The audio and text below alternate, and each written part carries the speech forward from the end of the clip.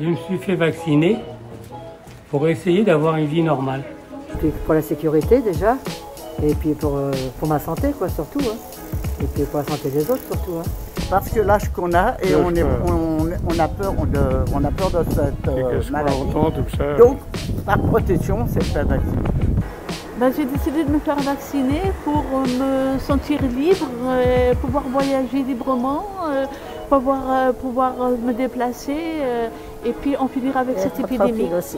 Je me suis fait vacciner parce que euh, c'est déjà un miracle qu'on ait un vaccin, donc euh, par, euh, par civisme, pour euh, protéger les autres et me protéger moi-même.